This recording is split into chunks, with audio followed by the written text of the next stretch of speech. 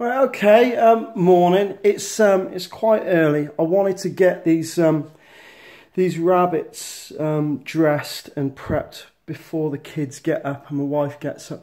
They don't mind the meat, but um, they can be a little bit squeamish when they see you chopping heads off and stuff like that. So it gives me a, a, a great opportunity to um, to introduce to the family the Boker Field Butcher. Um, it's funny because my wife had actually said to me, she I think she's getting jealous um, of my knife collection, and she had mentioned to me that she would like a nice knife for the kitchen. So I did a bit of hunting around, and I did a bit of research, and I found the Field Butcher, a beautiful knife made by Boker, um, N 690 steel. I don't know whether or not we're going to pick that up. German made. Absolutely stunning. That stonewash. I love it. Absolutely love it. And um, my wife likes it as well, which is which is a bonus. Um, but yeah, this is a knife that you can. Well, let's be honest, it's, it's as much at home in the field as it is in the kitchen. It's a real nice, I suppose, transitional blade. I mean, if you're going to spend some good money on a knife, um, you can use this every day. You're in the kitchen every day. You're not in the field every day, are you? Comes in a nice box. Um, comes with a control label and your lifetime warranty slip that they recommend you fill out if you just want it for display purposes. And obviously the leather sheath that comes, that's not too shabby either. But yeah, let's, can we actually, sorry about that. Yeah, and it's um, what I call real Boker. It's German Boker, made in the um, Solingen uh, department. It's not a Magnum. It's not a um, what they call the Boker Plus. So it's not from China. It's from Germany. Right, we've got a couple of bunny rabbits, and you you may have seen me prepare these before. Um, a lot of guys will go up the belly, but obviously you don't want to slit the stomach lining. I don't. It's really quite stinky. It's not, it, it's not nice. So I try and stay away from there. So I tend to go up the back, strip everything off, and then you can see what meat you've got. So first of all, we're just going to take the head off. Don't need that. Stick that in the bin take a couple of legs off. Now, you're not going to do this with a namby-pamby blade, obviously. Um, what you're looking at is a bit of weight in that thing. It's 4 mil thickness as well, so yeah, she's lovely. Right, this is the different part. So I tend to pinch the back, just slit up there, and then I'll move that out of the way just in case. Then everything's exposed. All I have to do is get my finger up through there and then we can pull. Oh, bit pee pee coming out. And we can pull the meat out. And that's it. Pull that out. And there we go. Anyone want a pair of moccasins? A pair yeah, I've got a second bunny. Right. So you'll see all of that is the guts and what it's been eating. You'll see the majority of the meat on a bunny rabbit is its back legs and up there, um, what do we call that? I'm trying to think of the term. The saddle. Sorry, I couldn't think then and there's a tiny little bit of meat up there. There's not much. So 90% of your meat is down here. So if we take that off, move that out of the way. There we go. That's a big dod of meat there. Right, shall we uh, take his little tail off? Now, rabbit is a fairly um, tough meat. It's incredibly lean, but you find that it's, um, yeah, it's tough. Unless you're going to slow cook it, I suggest you stick it in a brine, a salt water. So all I'm going to do is stick that meat over there and that will help break that meat down. I'll put a little bit, just some salt flakes in there. So leave that in there a few hours and then what you're going to find is um, she will, the meat will actually break down. So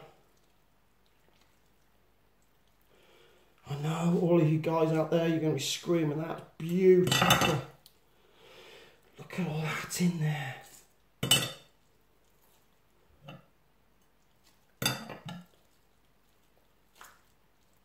There we are.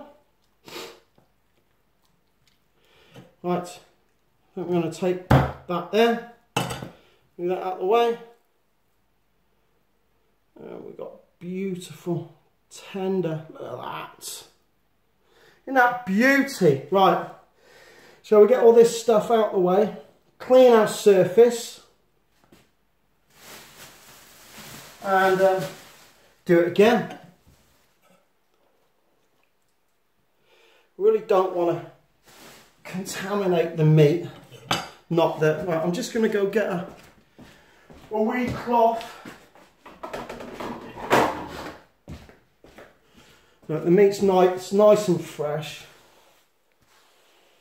I'm not gonna, I'm not gonna get any nasties. Look at that. Right, so that's that. Okay, so the other way, going up the front, avoiding the stomach sack. Well, bit more. Ah.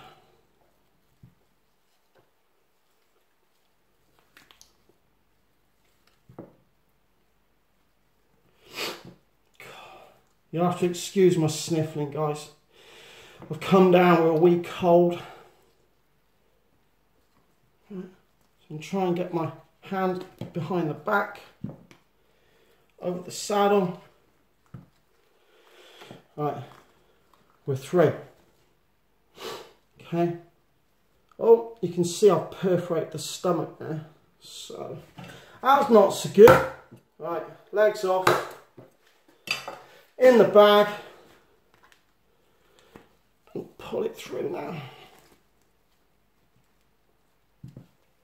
Yeah, you can see these aren't these aren't old rabbits. Mum and Dad were nowhere to be seen. There we go. Right, okay. Good example. You saw with the other rabbit where I actually shot them. Now, some people will go for the head shot, but rabbits, they don't they don't tend to keep their head still for long. So I tend to take a chest shot um, each time. I'm sure you understand. Right, I'm gonna nip the little giblets off. Go up through here. Right, take all this off. And then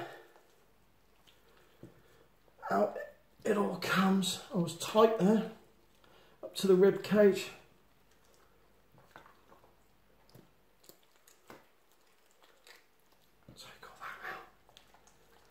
There we go.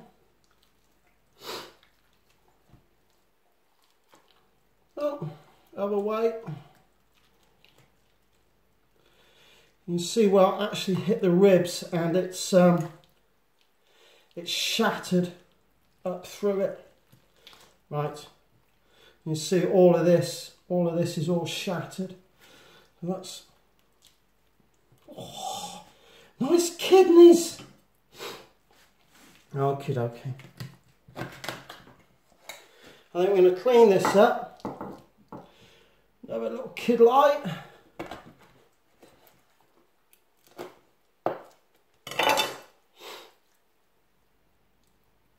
I think we'll take it a little bit more. I don't want any broken bones sitting inside the flesh. There we go. Just get that last poopy out. Where'd it go? Shall we poke it through? There we go. Its last poop. There we go. Right. So there we have it. I'm going to clean this up. And then wipe it all down. Bye bye. Get it all get it all washed. Stick her in the fridge. Cold water. That oh that ice coldy water with the salt in it. And then, I don't know what we'll have. We might have a stew. I think I want to wash that before. Wait there, give me a second. Just going to wash that quickly. Oh yeah.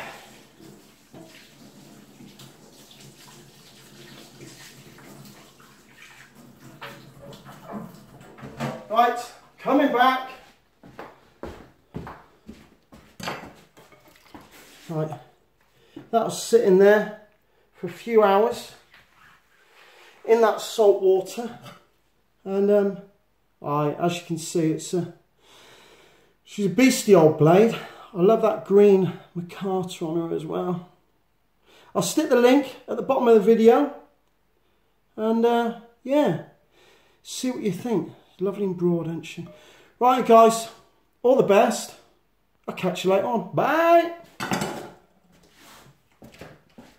Oh, yummy.